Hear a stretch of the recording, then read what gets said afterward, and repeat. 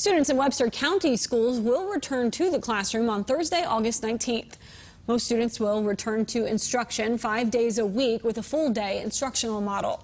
Superintendent Scott Cochran responded to 12 News inquiry about mandated face masks, stating they continue to work with the Webster County Health Department while making decisions regarding the return to the classroom.